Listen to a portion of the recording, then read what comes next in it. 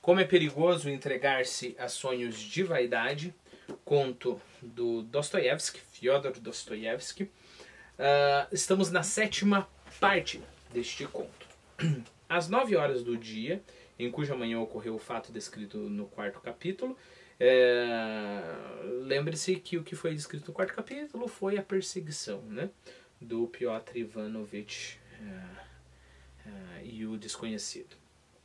Então, às nove horas desse dia, Stepan Fyodorich Farafontov uh, chegou ao escritório e se encaminhou diretamente para a mesa em que Piotr Ivanich costumava se sentar, para interrogá-lo a respeito das aventuras noturnas e, por dever de ofício, passar-lhe uma reprimenda em regra. Deixa eu só abrir um parênteses, eu acho que eu já falei com você sobre isso. Se acostume, se você ainda não leu os livros russos, os grandes, né? É... Já que eu estou num parêntese, já que eu estou numa digressão, deixa eu continuar com essa digressão. O Guerra e Paz, do Tolstói, o Ana Karenina, também do Tolstói, e os cinco grandes romances do Dostoiévski uh, são extremamente recomendados. Eu sei que é do nada que eu falei isso, mas já que eu estou aqui, uh, O Idiota, Irmãos Karamazov, Crime e Castigo, uh, Adolescente, que a gente tem. Onde estão os meus Dostoiévski? Aqui.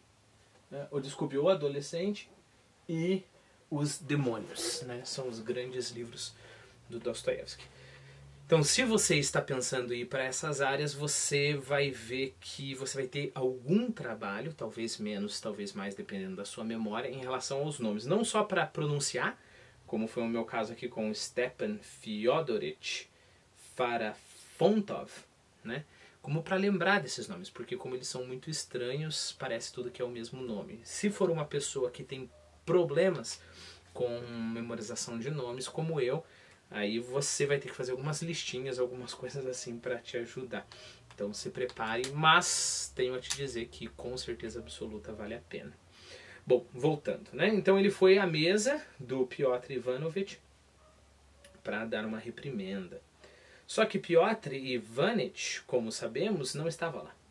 Como a lembrança do ganho no jogo da véspera ainda o mantivesse de bom humor, Stepan Fyodorich ao aproximar-se do fiscalizador e perguntar da saúde, narrou de forma totalmente cômica o estranho encontro com Piotr Ivanovich, estendendo-se particularmente a propósito da espantosa dança na qual Piotr Ivanich se exercitara e a propósito da ara, aparentemente da sonâmbula, que acompanhara seu passo pitoresco. Depois do que ambos, narrador e ouvinte, riram longamente, chacoalhando os ombros.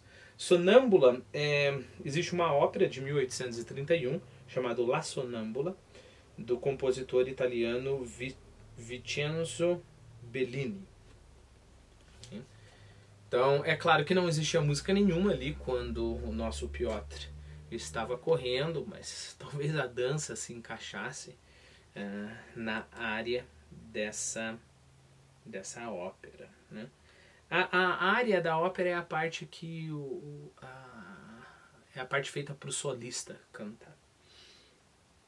Ok. Daí eles riram longamente, chacoalhando os ombros. Stepan Fyodorich não contou em voz baixa para que apenas o fiscalizador pudesse ouvi-lo. E portanto a história de Piotr Ivanovich imediatamente tornou-se conhecida por mais dois, três funcionários.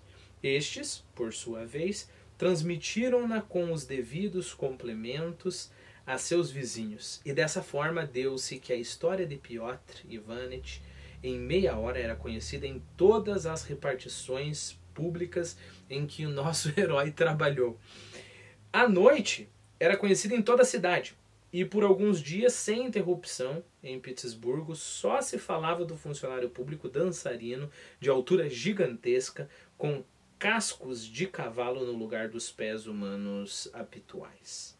Não é difícil imaginar que com não é difícil imaginar com que impaciência aguardavam seu camarada. o que houve de boatos e suposições e o quanto cresceu, embelezou-se e se modificou a própria história. Mas se passou um dia, passaram-se dois, passaram-se três, chegou o quarto e nada de Piotr Ivanitch. A curiosidade cresceu ao grau mais alto. E eis que no quarto dia, ao meio-dia, na hora de silêncio geral e respeitoso, instaurado devido à aparição do chefe, que, apontando para um caso, explicava alguma coisa com grande ardor a Stepan Fyodorovich. Lembre-se então que o chefe é o chefe do próprio chefe do nosso uh, Ivanich, né? É o chefe do Stepan. Então estava lá o chefe explicando uma coisa com grande ardor ao Stepan, que por sua vez acompanhava o discurso da chefia com uma respeitosa inclinação da cabeça. Nessa hora solene, a porta da antecâmara se abriu de repente e apareceu o nosso herói. Por mais natural que fosse a deferência dos subordinados pelo chefe, o movimento natural suplantou-a, e um riso surdo e reprimido prorrompeu por todo o aposento, como se de repente uma manada de cavalos espirrasse. Né? Ninguém conseguiu se controlar, por mais que é muito importante o respeito ao chefe. Natural que o chefe, com cara de insatisfação, perguntasse o motivo daquela explosão fora de lugar. Stepan Fyodorich ergueu a cabeça, pois ele mesmo não sabia o significado de uma insolência daquelas.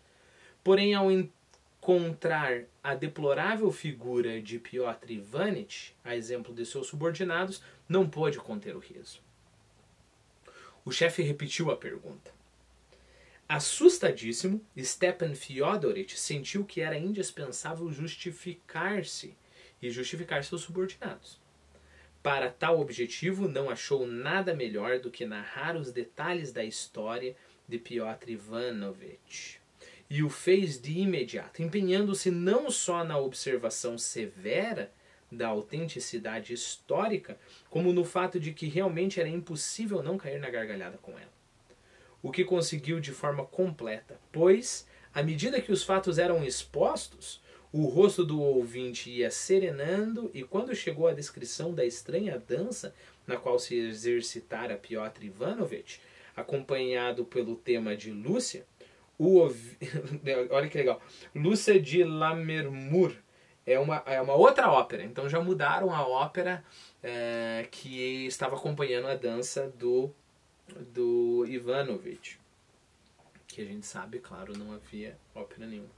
Então quando chegou uh, a essa parte acompanhado por tema, da dança acompanhado por temas de Lúcia, o ouvinte decididamente não encontrou mais forças para manter a expressão severa a que, a que submetia a sua aparência e riu.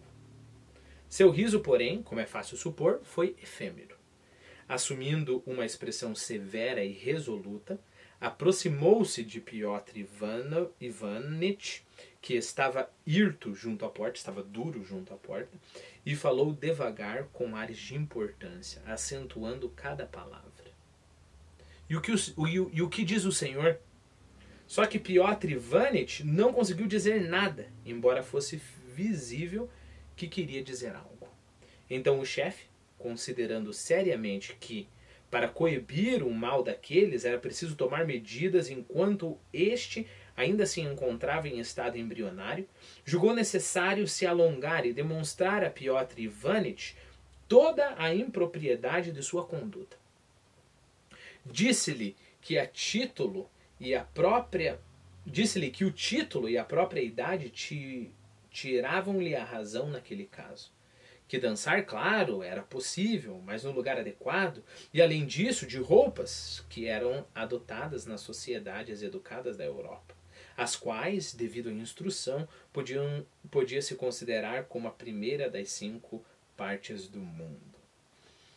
Disse-lhe, e à medida que falava, sua voz crescia em energia e seu exterior se animava mais e mais, que escândalos daqueles eram perdoáveis apenas em selvagens toscos e ignorantes que não conhecem o uso do fogo e das roupas.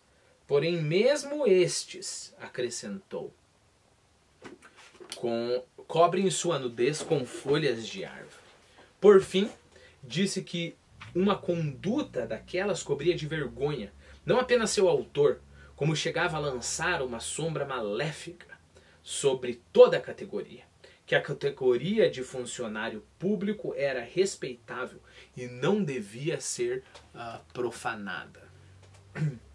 E aqui a gente volta a uma parte em versos, aparentemente por causa da importância do discurso dele. Que o funcionarismo público é o exército da pátria no âmbito civil. Atentar contra sua honra e dignidade é, é admissível apenas ao inimigo, que ele ocupa funções importantíssimas nos negócios, finanças e justiça Todos que lá servem são inteligentíssimos e se portam com nobreza. Que sem ele os inocentes chorariam, os pérfidos se deleitariam em licenciosidade, que por vezes de sua garatuja depende a sorte de centenas de pessoas. Que sem ambição o funcionário público é mau, que ele não é um bufão, não é um palhaço. E não deve sair correndo com uma mão à frente e outra atrás por uma praça qualquer. Porém, se houver apenas o desejo, não de trabalhar, mas de bailar a cachucha, há um emprego adequado para isso. Não quero detê-lo. Se é isso que você quer, não sou eu que vou te impedir. Vamos. Uh uh, algumas observações sobre algumas palavras aqui, né? Um pérfido é o que falta ao seu juramento, é um traidor, né? E por extensão é um engan enganador, né? Se não fosse os funcionários públicos, né? É, os inocentes chorariam e os pérfidos se de deleitariam em sua licenciosidade. Uh, que por suas por sua desculpe, que por vezes de sua garatuja depende a sorte de centenas de pessoas. Garatuja é a mesma coisa que falar garrancho. Eu conheço como garrancho. Eu anotei aqui diversas uh, variantes de garatuja. Pode ser garrancho, garabulha, garafunho, garaunha, gara, gatafunha, gatimanho, gatimônia, riscanha e sarrabisco. Né? Lembre-se, como é uma palavra informal e, é uma palavra composta de mais sílabas, é comum que as pessoas vão mudando, né? Então, e, por influência do, do, próprio significado da palavra, né? Garatuja é você escrever tudo apressadamente. Então, garatuja, gachatuma, garotajo, é claro que essas palavras não existem, mas perceba que você está mudando ali o rabisco, que não é muita coisa. É, é claro que aqui o chefe está usando a palavra garatuja com sentido. Hum, com, querendo dar um efeito. Né? Querendo dizer, com os meros rabiscos do funcionarismo público, depende a sorte de centenas de pessoas. Né? Cachucha é uma dança sapateada espanhola. Então, porém, se houver apenas o desejo, não de trabalhar, mas de bailar a cachucha, há um emprego adequado para isso. Então, vai ser dançarino, não quero detê-lo. Agora a gente volta à prosa. Assim se concluiu o discurso que exerceu forte influência sobre todos os presentes. Porém, seu efeito sobre Piotr Ivanitch foi tal que possivelmente discurso algum em época alguma produziria. Fulminado por ele, de todas as capacidades que Deus lhe concedera, conservava apenas uma, a de mover, ou mais precisamente, mastigar os lábios. Mesmo assim, com o maior esforço e, em geral, nessa hora, nosso herói, terrivelmente azul, parecia um moribundo que tem algo de importante a dizer, mas cuja língua já está paralisada